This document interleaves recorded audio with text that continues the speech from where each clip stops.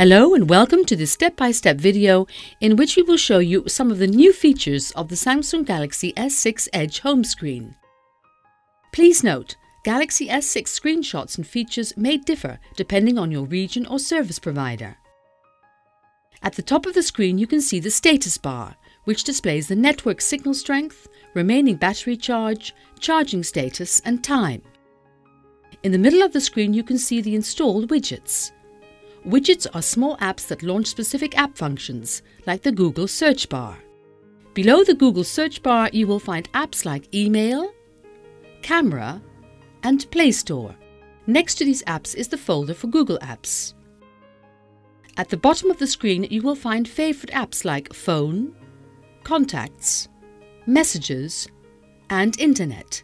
Next to these apps you will find the apps icon you can use to access other apps on the device. In between the apps and the favorite apps areas, you can see the screen indicators. The home screen has multiple screens. To view other screens, scroll from right to left. You can also tap on the screen indicator icons to switch to that screen. When on the home screen, swipe to the right to open the briefing feature. The briefing feature can help you view the latest articles in several categories.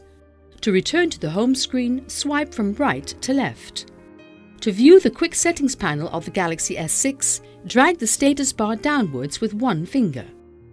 If you are connected to a Wi-Fi network, the name of the network will be displayed under the Wi-Fi icon. Also added is the new torch setting icon. Swipe the quick settings panel from right to left, then tap torch to activate the camera flash as a torch.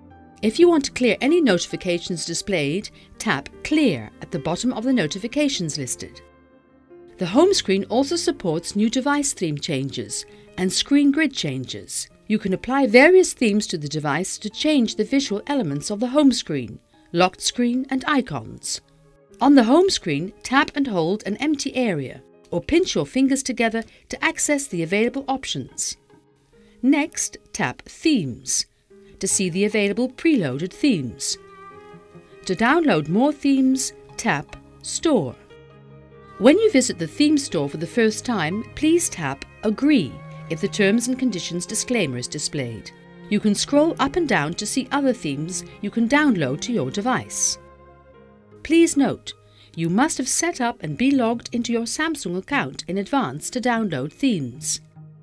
You can change the size of the grid to enable you to change the number of items you wish to display on the home screen panels.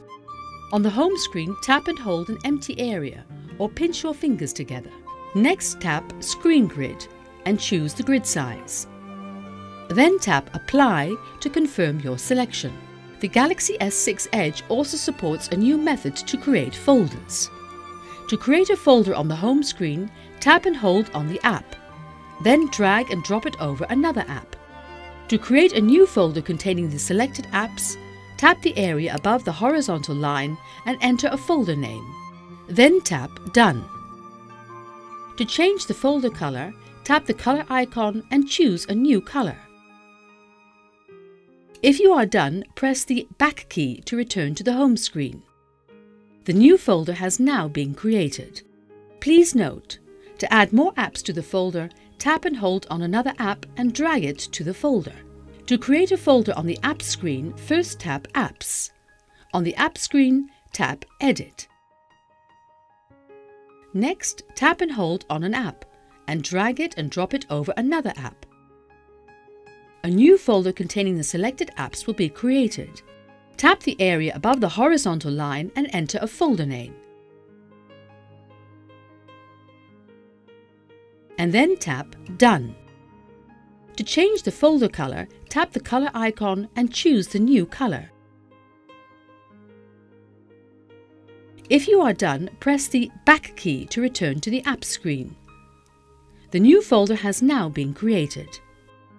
Please note, to add more apps to the folder, tap and hold another app and then drag it to the folder.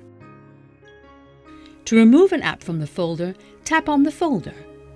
Next, tap and hold on an app within the folder and drag the icon to an empty space outside the folder to remove it. If you are finished, tap Done. Please note, if only one app is left in the folder, the folder will also be removed. That's it.